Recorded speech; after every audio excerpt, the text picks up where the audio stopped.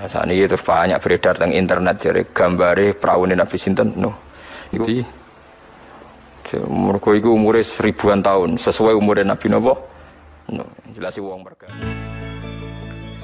Assalamualaikum warahmatullahi wabarakatuh. Dikutip dari National Geographic, keberadaan Bahtera Nabi Nuh atau kapal Nabi Nuh alaihi wasallam telah menjadi buruan para peneliti sejak dahulu kala. Bahkan ada yang berpendapat kapal Nabi Nuh alaihi wasallam mendarat di Turki setelah 150 hari di atas air.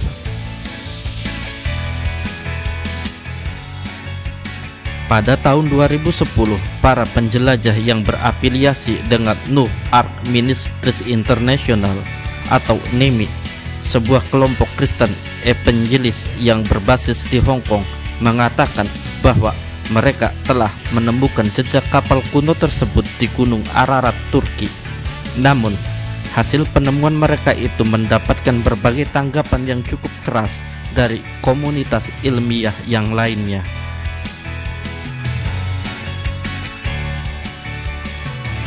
Kemudian, pada tahun 2017 dilansir dari The Daily Mail, seorang pemburu bahtera Nabi Nuh yang berasal dari California meyakini ada beberapa bukti yang menyatakan bahwa kapal dan penumpang tersebut mendarat di Gunung Ararat, Turki.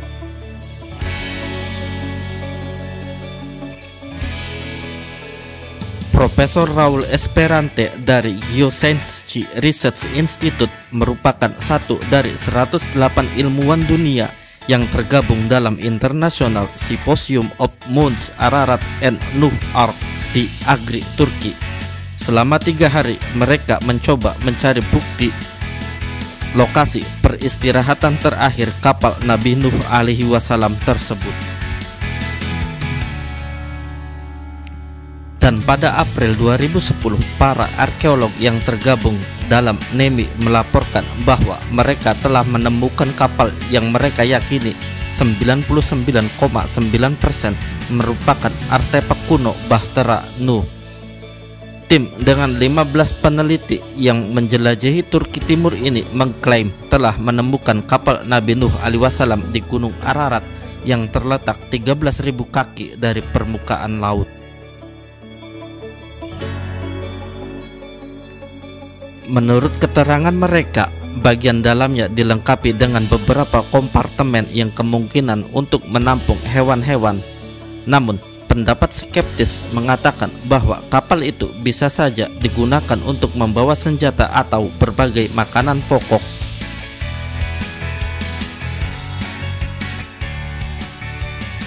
Man Fei Yuen mengatakan, saya dan tim pencari memasuki sendiri struktur kayu raksasa di gunung tersebut dan kami yakin bahwa struktur kayu yang kami temukan itu sama dengan yang tercatat dalam sejarah Bahtera kuno dan hal ini mempunyai kesamaan dengan apa yang dibicarakan penduduk setempat yang berada di sekitaran Gunung Ararat, Turki.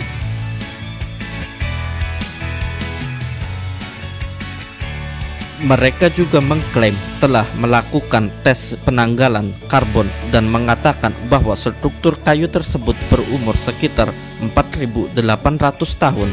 Lalu, apa kata Kiai Haji Bahauddin Nur Salim atau yang akrab dipanggil Gus Baha tentang perahu atau kapal Nabi Nuh alaihi wasallam. Mari kita simak bersama.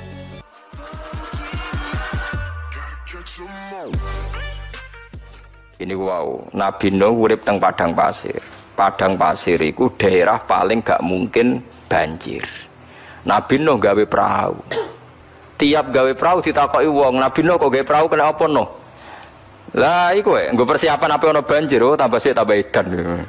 Wong ning padang pasir kok gawe perahu. Perahu nih gue bedi jadi nih somben gue ngadepi ban. Padahal sawah rasa se daerah mereka itu bakal banjir. Mau mau banjir ora butuh perahu sediluk entek. Napa padang napa pasir. Mulane waya snaul fulka wa kullama marra alaihi mala'um min qaumihi sakhiru mina. Qala in taskharu minna fa inna naskharu minkum kama taskhorun. Jadi dia ini gaya perahu tiap tangga ini liwat kan ya Nabi Nuh edan, wong padang pasir kok nopo perahu. Tapi Allah ngutus Nabi Nuh kon gawe terus ya. Bareng gawe wis dadi kaume tetep ora iman, Allah ngutus pokoknya angger keluweng pawon wis ngeltokno banyu kowe siap-siap. Nabi Nuh siap-siap ngajak tiang-tiang sing iman jumlahe pinten? 80 nggih 8 napa? Pulau. Tiap kewan dijupuk sak pasang-pasangan. Mulane saiki ana LSM menyelamatkan hewan iku jek dhisik Nabi Nuh. Ketika ana banjir bandang Nabi Nuh fasluk fiha mingkulin zaujainis nen tiap pasangan kewan digowo mergo ben populasinya tidak punah. Tapi kalau nanti tanggleti santai cerdas kurang ajar aneh Gus ya aku gawani dinosaurus piye cangkemmu tak ya sak gede-gede ini perahu dimoti dinosaurus loro ya tak kebalawo minna minkum. Dinosaurus itu kewan sing coro discovery coro peneliti. Mbono tenan bo rayu raro tapi sing jelas semuanya janggal tenan ya.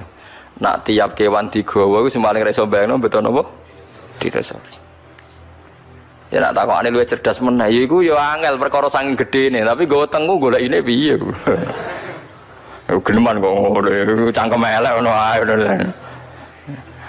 Ya pokoke sing jelas nak saiki ana LSM nyelametno hewan sok paling berjasa iku jek dhisik Nabi sinten? No fasluk fiha min kullin zawjaini Walhasil akhirnya banjir bandang, banjir bandang niku ngelanda judi keyakinan tiang-tiang judi niku musol. Musol niku saat ini daerah Irak. Niku keyakinan para ulama niku saat ini coro wilayah daerah Budi Irak. Kados wilayah Babylon wama unsila alal ini bi Babylon apa? Harut Marut niki keyakinan ulama Babylon niku daerah Saddam Hussein riyen pokoknya daerah Irak. Gon sihir. Nggih gon apa? Sihir niku Masane itu banyak beredar tentang internet jadi gambare praune Nabi sinten Nuh. Iku royo kondi. Mergo iku umure ribuan tahun, sesuai umure Nabi Nuh. Nuh, jelas wong mergawe paham nggih, mbok ya kena ora ya kena sing wong mergawe. Mohon maaf bila banyak kekurangan. Sekian dan terima kasih. Wassalam.